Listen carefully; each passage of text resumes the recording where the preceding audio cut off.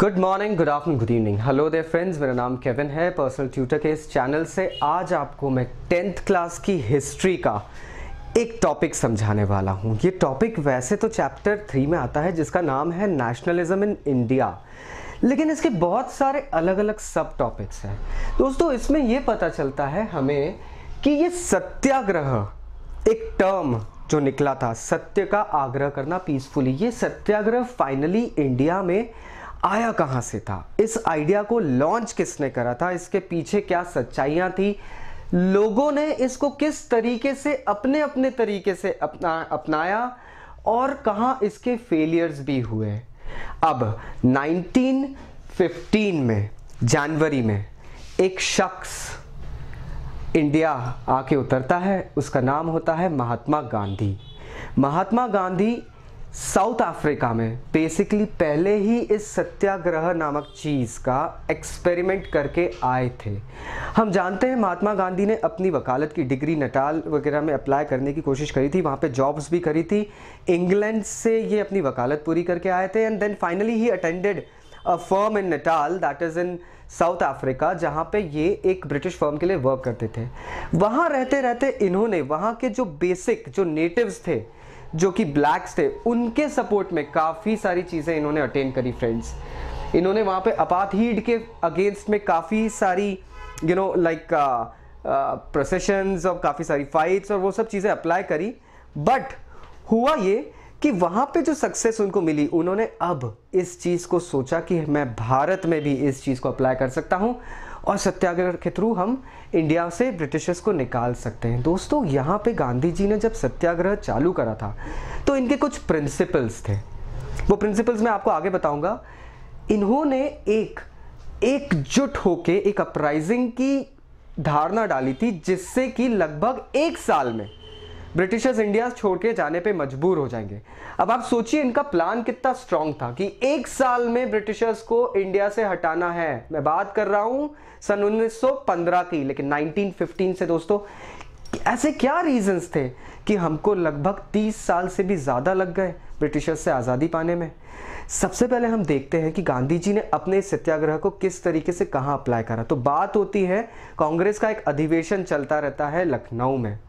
और दोस्तों, वहाँ पर बिहार के एक छोटे से कस्बे चंपारण नाम के एरिया से एक किसान मेहनत करके उठ के आता है। महात्मा गांधी के पीछे वो पूरे इंडिया में, अहमदाबाद, दिल्ली, आगरा, लखनऊ, सब दूर घूम चुका था, लेकिन उसे मौका नहीं मिल रहा था कि मैं गांधी जी से किसी तरीके से बोलूँ कि मेरे साथ एक बार इस गाँव चल के देखो, वहाँ के किसानों की क्या हालत हो रही है। फाइनली जब उसे मौका मिलता है, वो कहता है कि एक बार आप चलिए। दोस्तों इसके पीछे मैं आपको बताना चाहूँगा, एक रीज़न था। अंग्रेज़ जो थे, उनकी दमनकारी नीतियाँ, मैं वर्ड यूज़ करता हूँ, दमनकारी नीति क्योंकि उनकी हर नीति दमन से ही भरी होती थी। वो अपना भला देखते थे। उन्होंने कभी भी इंडियन विलेजर्स इंडियन किसानों का भला नहीं देखा। जो नील की खेती कराई गई थी हमारे इंडिया में उसमें ब्रिटिशर्स ने फोर्स करा था कि आप एक चौथाई वन थर्ड एक तिहाई ज़मीन पे नील की खेती करिए। और वो ज़रूरी था कंपल्शन था। लेकिन ये बात वो छिपा देते थे कि नील की खेती एक साल करी जाए तो अगले तीन साल तक उस ज़मीन पे कुछ उगने के लायक वो ज़मीन नहीं रहेगी, कुछ उगाने लायक नहीं रहेगी। बेचारा किसान अपने रेवेन्यू लेके, कर्जा लेके नील बोता था। एक तिहाई टुकड़ा, अगले साल दूसरे तिहाई टुकड़े पे, तीसरे साल तीसरे तिहाई टुकड़े पे। ये करके उसकी पूरी ज़मीन खत्म हो जाती थी और वो मजबूर हो जाता था बेगार बनने को। बेगार कहते थे उन किसानों को जो तहसीलदार, तालुकदार, जमींदारों की ज़मीनों पे काम करते थे बिना किसी सैलरी के, क्योंकि वो अपना कर्जा पूरा करते थे। गांधी जी जब चंपारण गए, वहाँ पे एक मास अपराइजिंग हुई दोस्तों। उन्होंने उस चंपारण का इंसिडेंट ये आप क्लास एट्थ में पढ़ चुके हैं, फिर भी मैं बताता हूँ, गांधी जी को वहाँ जाने से रोक दिया गया।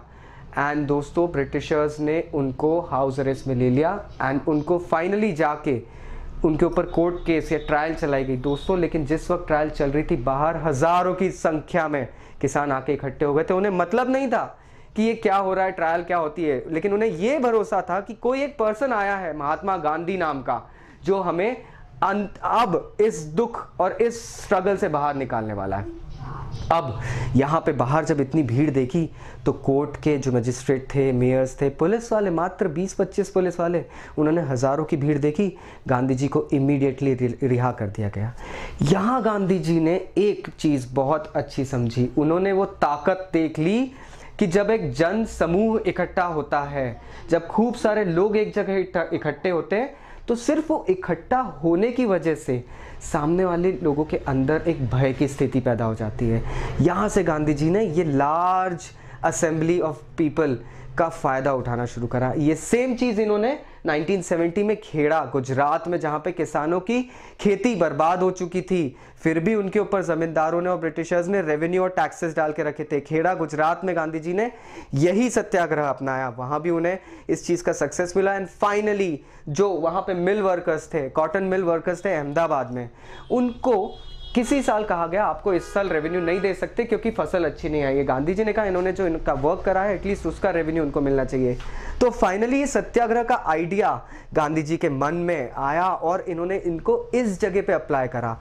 इन तीन जगहों के बाद में गांधी जी ने डिसाइड कर लिया कि अब सत्याग्रह को भारत लेवल पे एक देशव्यापी आंदोलन बना के यू नो प्रेजेंट करना पड़ेगा, तभी जाके हम एक मास अपराइजिंग के साथ में ब्रिटिशर्स को अपनी लैंड से हटा पाएँगे।